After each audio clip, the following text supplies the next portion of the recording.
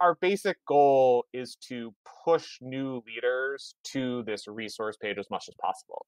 So they uh, go into an email drip campaign that sends them a set of emails. I think they get four emails in the first two weeks, roughly, and then it tones down and it's pointing out different things that are all on that resource section. Because the idea is like, yes, we want them to click on those specific things, but we also want them to know that that is the place that you go to get all of your stuff. That email drip campaign actually lasts for a year.